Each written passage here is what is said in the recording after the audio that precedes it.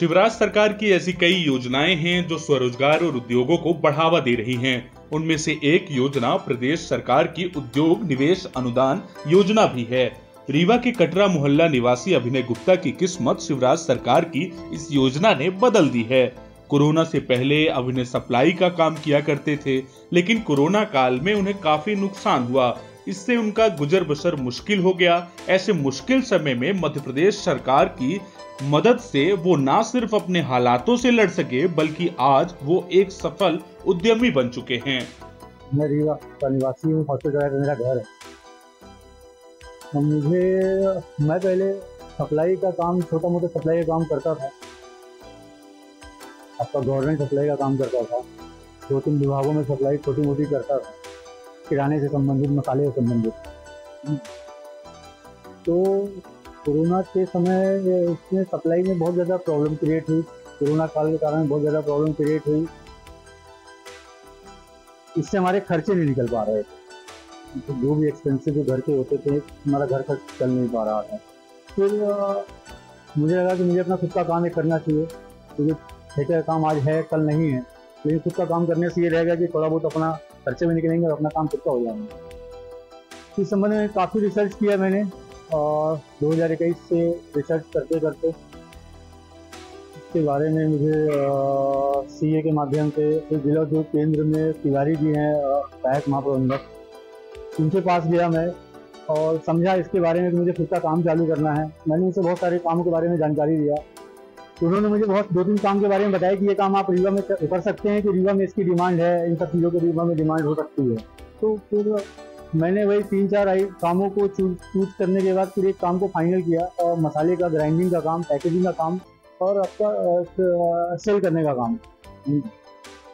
जिसके लिए जीतू तिवारी सर ने भी मुझे बोला कि हाँ ठीक है, ये बढ़िया काम है, आप कर सकते हो और जो विभाग से सहयोग हो, मैं पूरा दूँगा।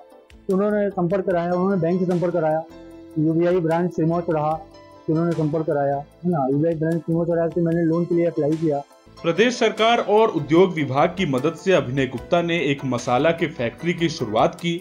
इस फैक्ट्री से आज अभिनय गुप्ता न सिर्फ़ लाखों की कमाई कर रहे हैं बल्कि 10 से ज़्यादा लोगों को रोज़गार भी दे रहे हैं। मुझे लोन सेंक्शन हुआ मुझे 40 लाख का टर्म लोन मिला है 12 लाख रुपए की सीसी मिली है। उस 40 लाख के टर्म लोन में मुझे सब्सिडी भी लगभग चौदह लाख के समथिंग सब्सिडी भी ग्रांट सेंक्शन हो गई है, जिसकी दो किस्त मेरे को मिल भी चुकी है, लगभग तीन लाख के आसपास लगभग मुझे मिल भी चुका है है ना? वो हर तीन महीने में एक एक किस्त को जिला उद्योग वाले देते हैं, है ना?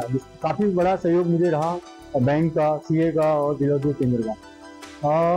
अभी जनवरी से मेरा ये प्रोजेक्ट स्टार्ट मैंने रन किया है, जनवरी से स्टार्ट किया है है ना? स्टार्टिंग में तो मेरी सेल पर मंथ की पच्चीस, तीस हज़ार, चालीस हज़ार आ रही थी। लेकिन अब रेगुलर बेस पे सेल हमारी इंक्रीज हो रही है। आज लगभग मैं ग्यारह, साढ़े ग्यारह लाख, बारह लाख की सेल पर मंथ कर रहा हूँ, है ना? पर मंथ कर रहा हूँ। मेरे पास मार्केटिंग की टीम भी है, जो ऑल ओवर रीवा डिस्ट्रिक्ट में लगभग 600 काउंटरों में मेरा माल है और पब्लिक डिमांड भी बनी हुई है। मैंने लगभग मैंने 10 लोग को रोज़गार दिया हुआ है, जिसमें अपने प्लांट में पाँच लोग हैं। Plant operate plant pouch packing operation है उसमें दो लोग हैं प्लस पैकेजिंग के लिए हैं उसमें दो लोग हैं और जो हमारा प्लांट है ग्राइंडिंग प्लांट है उसको ऑपरेट करने के लिए दो लोग हैं और तीन मार्केटिंग की टीम है। मध्य प्रदेश सरकार के उद्योग निवेश अनुदान योजना के तहत बहत्तर लाख के इस प्रोजेक्ट में बावन लाख रुपए अभिनय गुप्ता ने लोन लिया। इसमें चौदह लाख रुपए की सब्सिडी भी मिली है। ये अजगरहा में आलोक पांडे द्वारा इकाई स्थापित की गई है। इनके इनके द्वारा लगभग एक करोड़ रुपए का ऋण दिया गया है।